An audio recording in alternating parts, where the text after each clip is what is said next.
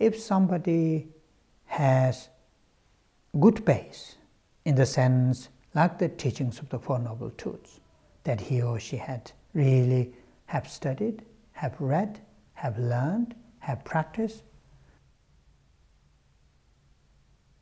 then you know going through these different traditions, different teachers, different styles, the person will not confused.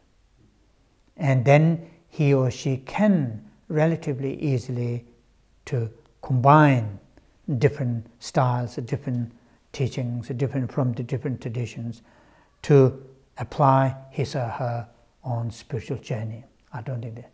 The problem is the person or the individuals have not established foundation like the Four Noble Truths or some other those foundations of the teachings of the Buddha have not established that's the foundation then try to go to visit and these different then try to combine you know the different styles the different traditions the different topics. This may cause difficulties this may cause difficulties confusions misunderstandings mispractice.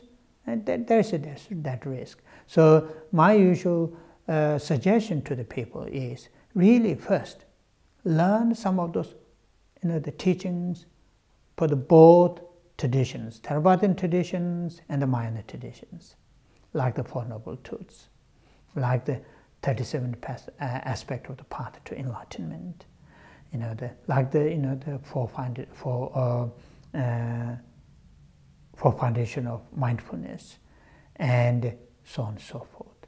What is according to the buddhism what is ethics? what is inner concentration, what is wisdom.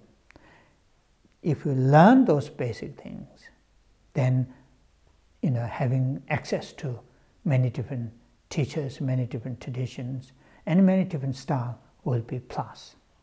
Mm?